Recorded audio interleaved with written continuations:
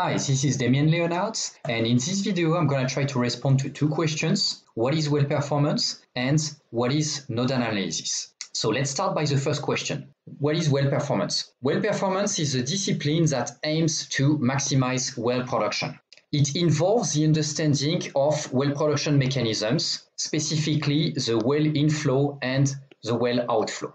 So the well inflow is the mechanism that describes the flow of hydrocarbons from the reservoir to the bottom of the well. So it is the one that I represented in, in blue in that schematic over there. Now, what is the well outflow? The well outflow, which is represented in reds over there, the well outflow describes the flow of hydrocarbons from the bottom of the well to the surface. For the well inflow, the main concept is the inflow performance relationship or the productivity index. So we say IPR and PI, and it is typically represented on a plot like this one with the bottom flowing pressure on the y-axis and the liquid rates on the x-axis. So on such a plot, the IPR will be represented by the green curve over there. For the well outflow, the main concept is the vertical lift performance, also called VLP, and it is represented by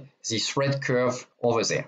For a well to flow to surface, you need the pressure required to flow your hydrocarbons from your reservoir to the bottom of your well. You need this pressure to be equal to the required pressure to flow your hydrocarbons from the bottom of your well to the surface. So you basically need the IPR and the VLP to be equal. So this is basically what happens when these two curves intersects. And so at this intersection, you will have a specific flow rate and a specific bottom hole flowing pressure. Now, what is node analysis? The well inflow and the well outflow are both parts of node analysis. Node analysis describes the evolution of pressure between two system nodes. Applied to well production, it usually starts with a node situated somewhere in the reservoir and finishes with a node situated somewhere at the surface, so either in your production separator or at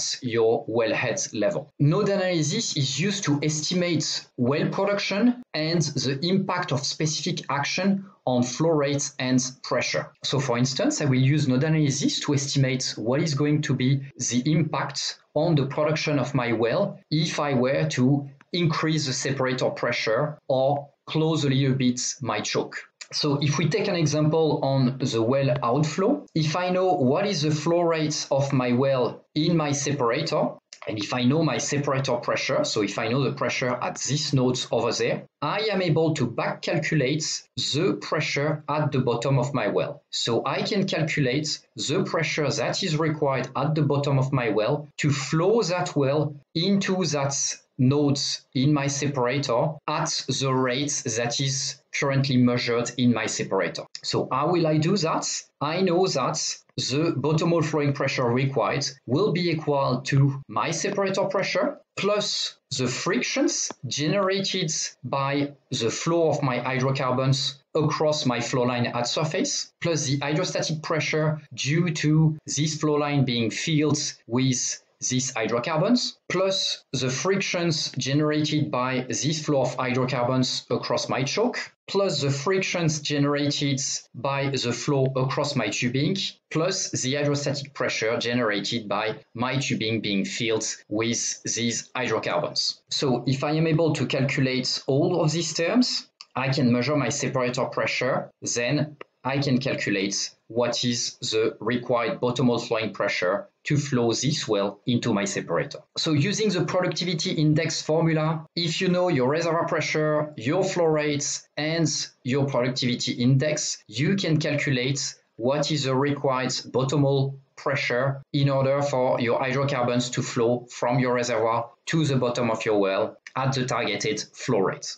So as mentioned, node analysis is widely used in well performance. And if you do well performance, you will use quite often this kind of graphic. And what will be important for you to know will be to understand how the VLP and the IPR, how do they change when you change a specific parameter in your well. For instance, what happened to your VLP when you change the wellhead pressure or when you open a bit more your choke or what happened to your IPR if you change your reservoir pressure. So when you do well performance, it's very important to understand how this parameter will change to understand how your bottom hole flowing pressure will change or how your well production will change. So I hope you now understand what is node analysis and that you will use it to do well performance so that you can increase your well production.